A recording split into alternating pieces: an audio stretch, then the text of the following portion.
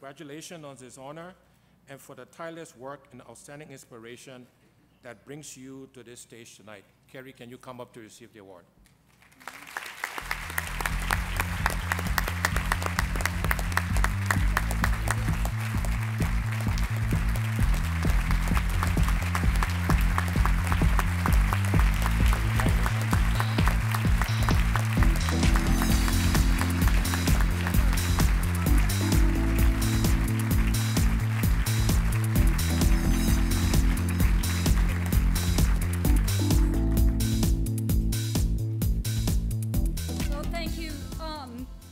To be back in Atlanta. First of all, Shirley Franklin, who is so amazing, but I thought you were my friend. and then you make me go after Vernon Jordan. I mean, in Atlanta, how could you do that? Doug Shipman is, has just really been so extraordinary in leading this effort. Like, can we get Doug Shipman?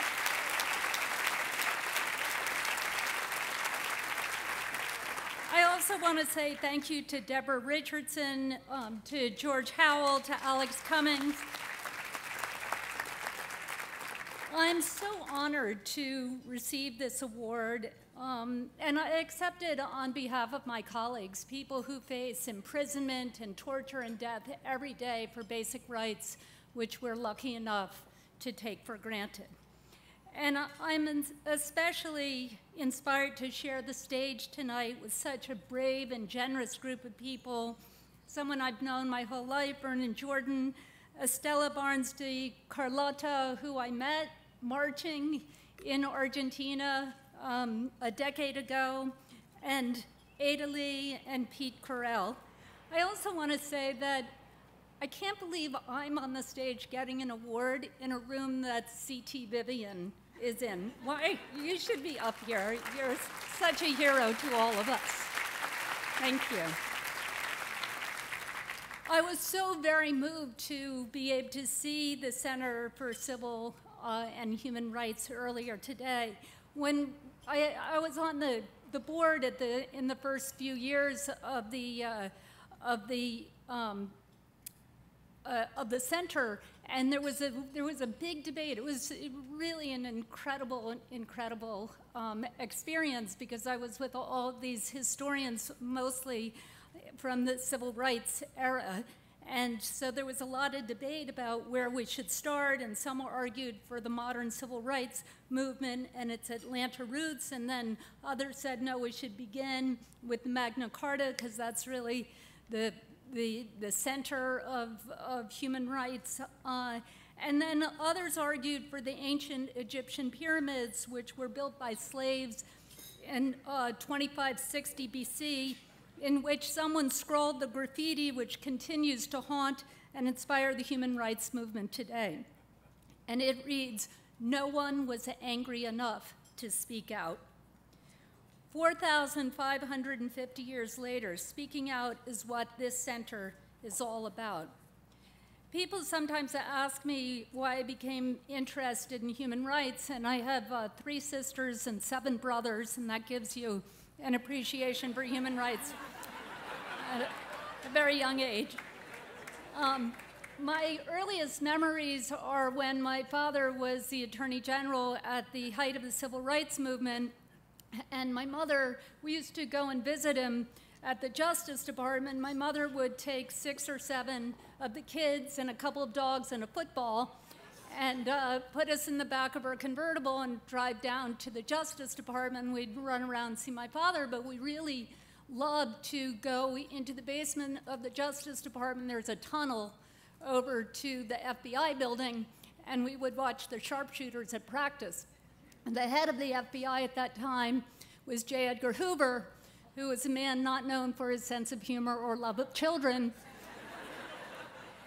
and he said at the time that um, the three biggest threats to security of the United States are somebody who used to work for him and he didn't get along with, uh, Martin Luther King and Robert F. Kennedy. And, you know, my father was his boss at the time. And so, anyway, the strange part about this story is that in the bottom of the FBI building was a suggestion box. I, who's, I, I don't know how that happened. anyway, Anyway, so my mother, you know, saw that and she took out her telltale red pen and wrote a suggestion, put it in the box. And then uh, she was gathering up all the kids and the dogs and the football, which took her a few minutes, and bringing us back to Daddy's office, a very astute FBI agent went, took the suggestion out of the box and ran it up to J. Edgar Hoover, who immediately had it sent over to Daddy. And so when we were walking into his office, he was reading the suggestion, and it said, Get a new director. so, um, so uh, you know, it was, an, it was an early lesson the importance of speaking truth to power. Um, so one day when I went to visit my father, he wrote me a letter, and I have that letter on my wall, and it says, uh, Dear Kerry, today was a historic day, not just because of your visit, but because two African Americans over the objections of the governor were allowed to register at the university. Um, I hope these events are long past by the time you get your pretty little head to college. Love and kisses, Daddy.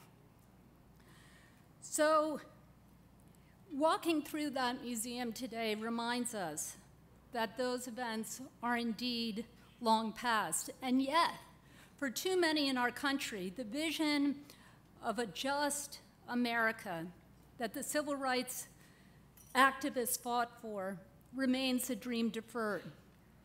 So today, just as the ancient Egyptians said we must be angry enough to speak out, today we must be angry enough to speak out when we see that the wealth of the top 1% of Americans is equal to the wealth of the bottom 90%. We have to be angry enough to speak out when the wealth of white households is 13 times the median wealth of African American households. We need to be angry enough to speak out when African American students are expelled at three times the rate of white students.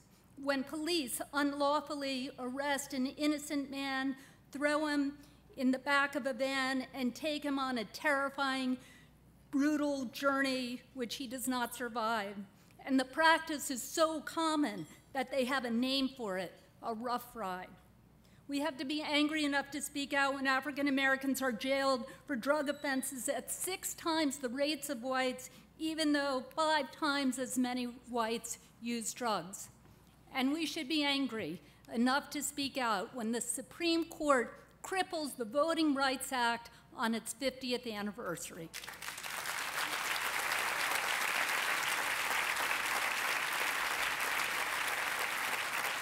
We should, we should be angry enough to speak out because anger, well directed, can be a force for revolutionary change. But righteous anger alone cannot realize our greatest ambitions for our country. We need more. To fulfill the dream that Martin Luther King Jr. glimpsed from that mountaintop, the dream of an America that lives up to its highest ideals for peace and harmony and equality, we must harness not only our righteous anger, but our love. Because we will not be satisfied merely with a world that is just. We strive for a world of compassion and peace and respect for each other, a world where every person is celebrated as a child of God. And that world cannot be built on anger alone. That world can only be built on love. So I want to thank all of you for supporting the Center for Civil and Human Rights and for believing in justice and in love. And I'd like to end with these lines from Langston Hughes. He said, Oh, let America be America again, the land that never has been yet and yet must be, the land where everyone is free, the poor man's, Indians, Negroes, me, who made America, whose sweat and blood, whose faith and pain, whose hand at the foundry, whose plow in the rain must bring back our mighty dream again. We, the people, must redeem the mountains, the rivers, and the highest plain, all, all the stretch of these great green states, and make America, America again. So hold fast to your dreams, to your courage, and your commitment, and let's make America America again. Thank you.